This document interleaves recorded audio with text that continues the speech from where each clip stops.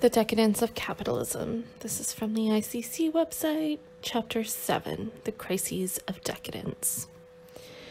Such an overview necessarily demands an analysis of military production and thus of the more general problem of non productive labor. The panorama of crises presented by capitalism during the period 1914 to 46 requires no commentary. Two world wars and a depression on the scale of 1929 in less than 30 years speak eloquently enough. Two remarks may nonetheless be of use. Because it was an economic crisis in the most traditional meaning of the term, the Depression of 1929 to 34 is often cited as the crisis of modern capitalism. But the two world wars also constituted crises of the system in no way, le- in no way less profound.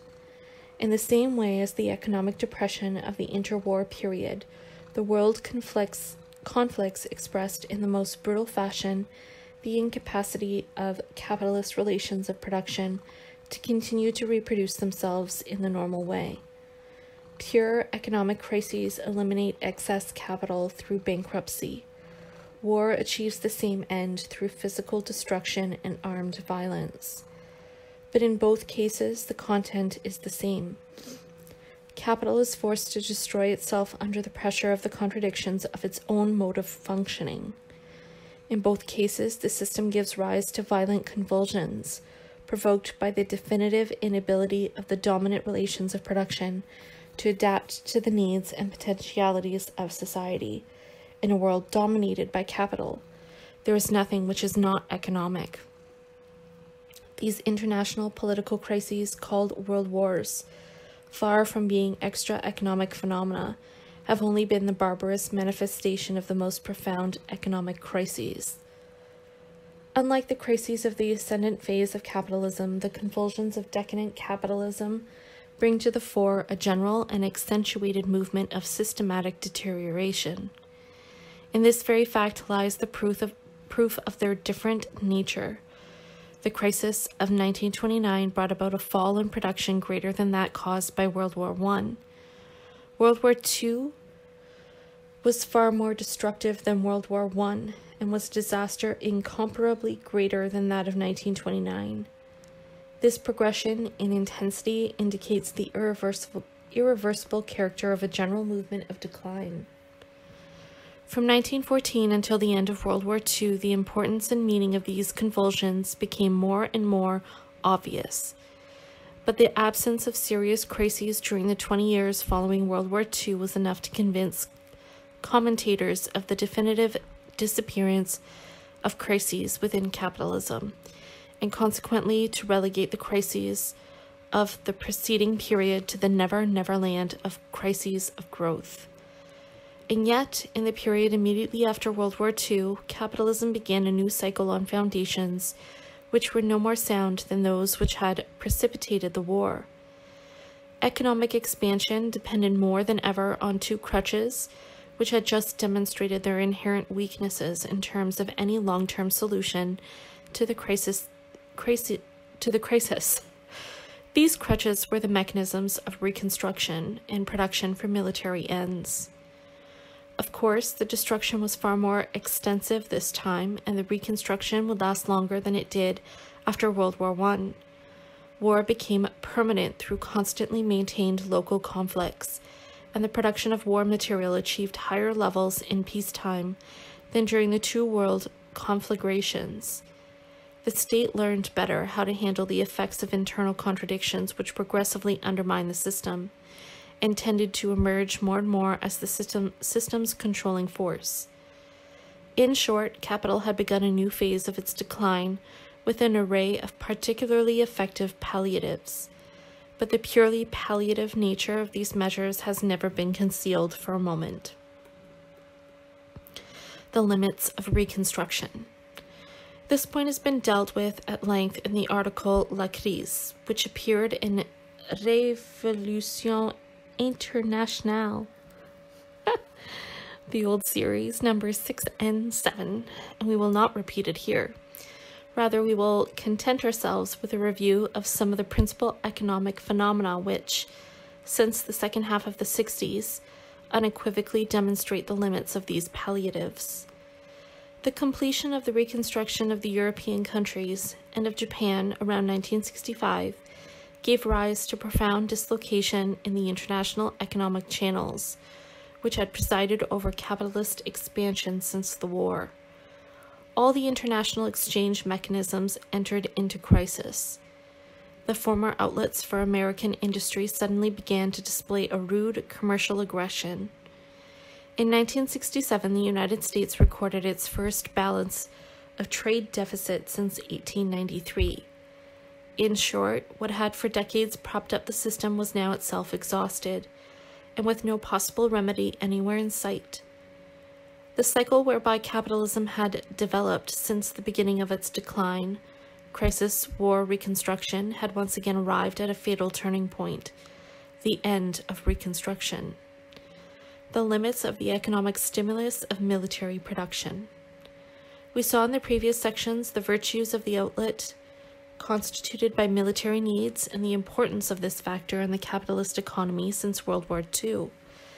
The limits of this kind of outlet, universally recognized as one of the major underpinnings of capitalist expansion in our era, must be analyzed if one wishes to understand the basis for the inevitability of the system's next major crisis. We dwell at length on this subject not only because it forms part of the answer to the problem of crises during the decadence of capitalism, but also because it is one of the most spectacular illustrations of a particularly significant phenomenon of this decadence. The precipitous development of non productive sectors at the expense of the productive sector. The general confusion which prevails with regard to military production is not foreign to our attempt to clarify the problem. It is indeed not rare to hear Marxists claim that any distinction between production, such as that of armaments in the means of production or means of subsistence corresponds to ethical criteria completely foreign to Marxist economic criteria. Armaments, a pure loss for global capital.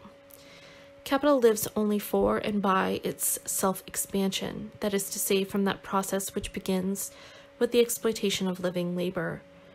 The extraction of surplus value and, and concludes with the increase of capital due to the transformation of part of this surplus value into new capital. Capital is not synonymous with accumulated wealth, even if, even if it is also that. Its specific characteristic lies in its capacity to extract surplus labor, and in the goal of this exploitation, the growth of capital.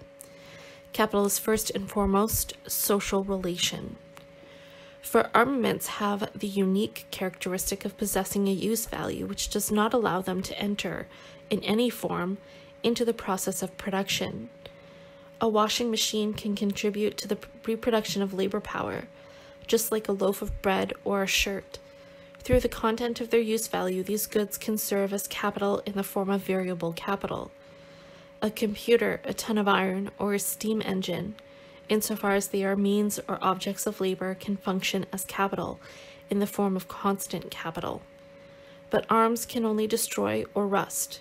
We are discounting, for the moment, the indirect productive effect of arms production, the second part of this article.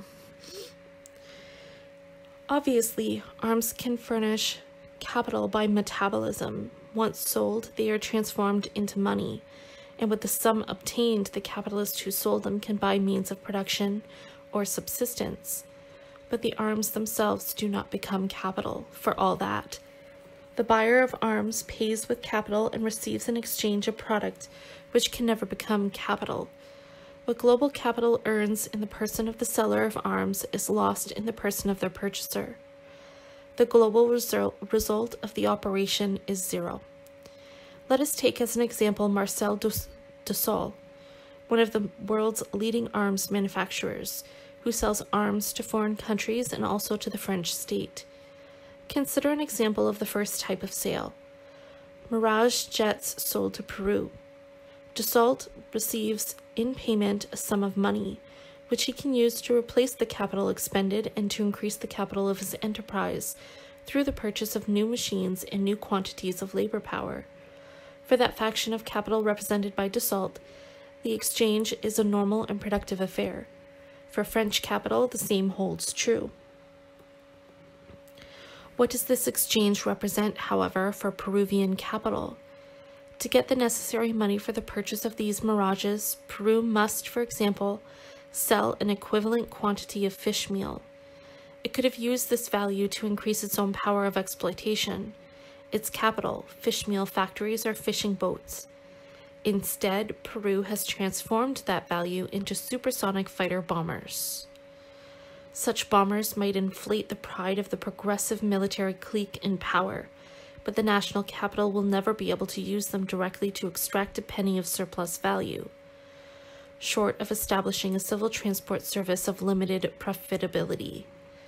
For Peruvian capital, then, this operation is paid for by a destruction of capital. For world capital, the unproductive nature of armaments has not disappeared. It has simply been displaced from one point to another within its own sphere. Whatever the exchanges that have taken place, the fact remains that somewhere in the world productive labor has been sterilized as far as the development of capital goes. The place where the weight of that unproductive activity makes itself felt changes nothing about the problem.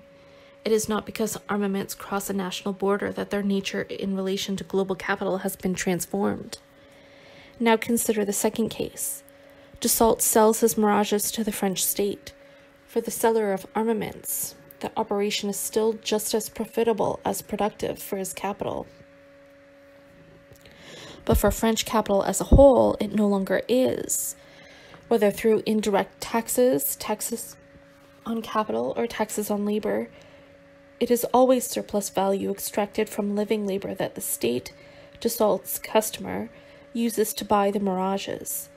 For the national capital, it is a question of wasted surplus value. Therefore, each time that the national capital sacrifices, through this waste of surplus value, a certain amount of labor for the production of arms consumed by the state, there is that much more surplus value which will be unproductively consumed and which will not expand at all the value of capital as a whole.